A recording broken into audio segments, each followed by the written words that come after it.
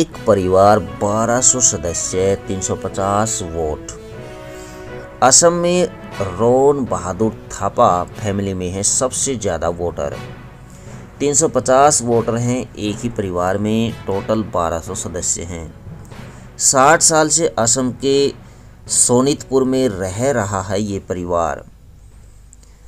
असम में 14 लोकसभा सीटों के लिए चुनाव तीन फ़ेज़ में होंगे। जिसकी तारीखें 19 अप्रैल 26 अप्रैल और 7 मई है। पहले फ़ेज़ के लिए यहाँ चुनाव प्रचार खत्म हो गया है और वोटर अब मतदान के लिए तैयार है। यहाँ सोनितपुर ज़िले में भी वोटिंग होनी है, जहाँ एक ऐसा परिवार है जिसमें 350 वोटर्स हैं। यह परिवार अपने मताधिकार का इस्तेमाल करने वाले सबसे बड़े परिवारों में से एक है। दिवंगत रोन बहादुर थापा के इस परिवार में वोटिंग को लेकर खासा उत्साह है। बारह भाई, नौ बहनें हैं परिवार में।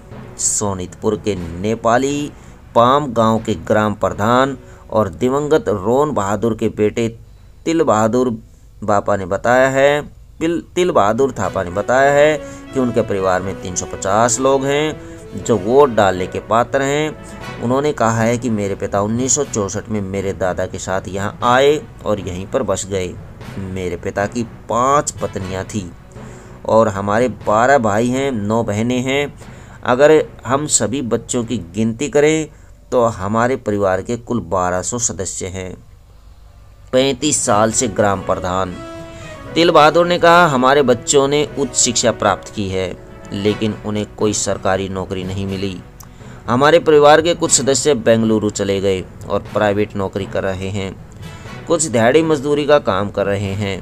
मैं उन्नीस सौ नवासी से ग्राम प्रधान के रूप में काम कर रहा हूँ।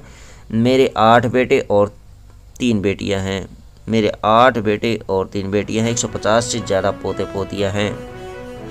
रान बहादुर के एक और बेटे सरकी बहादुर थापा ने बताया कि उन्नीस सौ सतानवे में रान बहादुर का निधन हो गया था।